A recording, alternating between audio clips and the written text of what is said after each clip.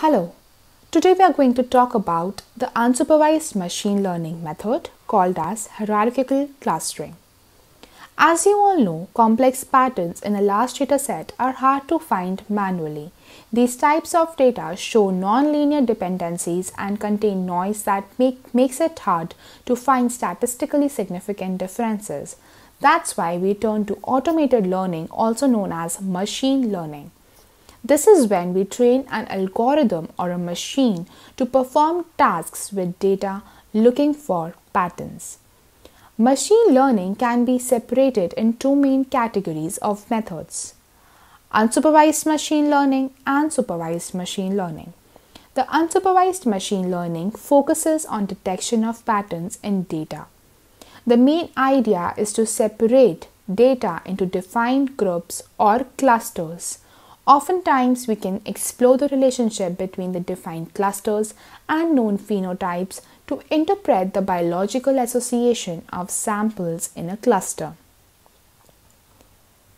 Now that the concept is clear, let's try to run several clustering methods and see how they work. To run clustering on T-BioInfo platform, you will need to upload the data of expression that we generated from processing the cell line data in the last video.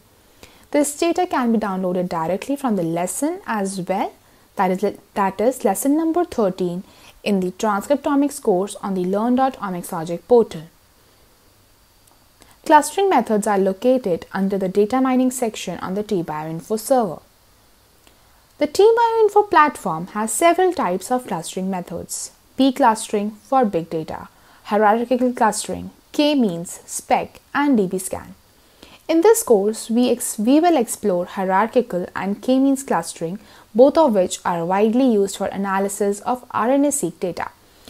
Let's run hierarchical clustering to see the analysis output for the breast cancer cell line data. The basic bottom-up hierarchical clustering algorithm is the H-Clust module.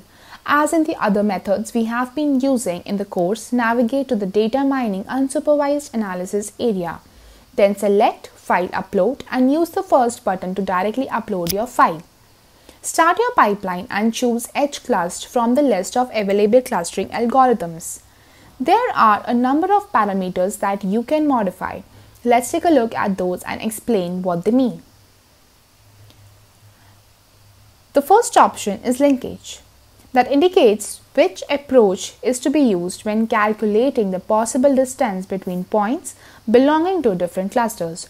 For example, single finds the minimum possible distance while complete find the maximum possible distance. Mean, also referred to as average, sums up distances between all points found between different clusters and takes the mean average and centroid finds the distance between centroids of each cluster. Distance indicates the mean by which distance is determined. A few options are described here. We will select WAR D2. Clusters expected count number of expected clusters based on previous knowledge. In our case, we know that we have four different sample subtypes in our data based on the run table or two groups from running the principal component analysis do transpose. If you set do transpose to false, rows and columns, that is genes and samples, will be switched and you will be clustering genes. Now we can just end the pipeline. Give it an original and descriptive name and then run the pipeline. As previously, you may click on My Pipelines and check the status of your pipeline. Once it is finished, you can click on the name of your pipeline to see the list of folders and click the download pipeline to view your results. You will get a dendrogram in your results. Now, how do you analyze a dendrogram or study a dendrogram and also a PCA scatter plot that are the results of a hierarchical clustering pipeline?